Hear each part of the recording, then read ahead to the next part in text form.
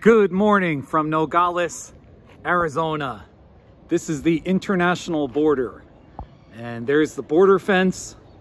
And you can see the Mexico flag on the right. And faintly, you can see the American flag right there.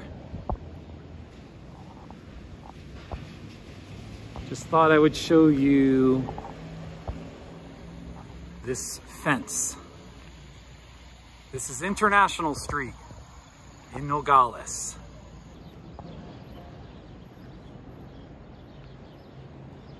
The fence itself is not too pretty. Got razor wire.